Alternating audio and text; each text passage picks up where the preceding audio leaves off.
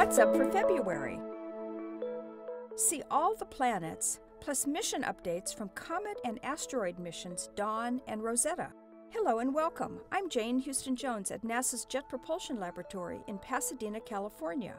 In the evening sky, Mercury and Jupiter are visible to the unaided eye, but you'll need binoculars or telescopes to spot Uranus and Neptune.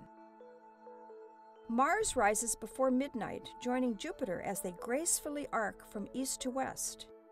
Spot Mercury and Venus in the southeast sky before dawn, and Mars and Saturn higher in the morning sky. Both Ceres and Vesta are just a telescope nudge apart from one another this month.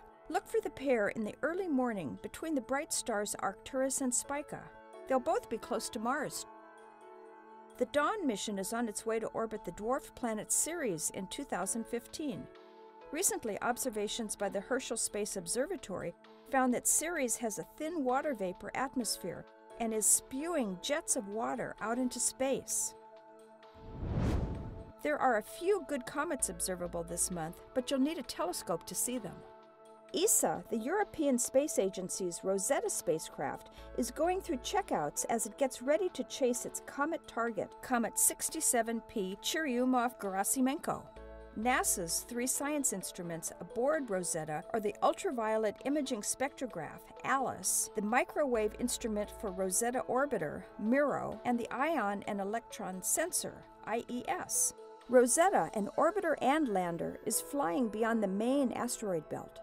The European lander called Philae will obtain the first images taken from the surface of a comet and will provide the first analysis of a comet's composition by drilling into the surface.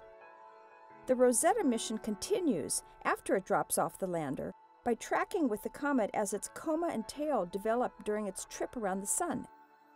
You can see the latest on the Dawn and Rosetta missions and all of NASA's missions at www.nasa.gov. That's all for this month. I'm Jane Houston Jones.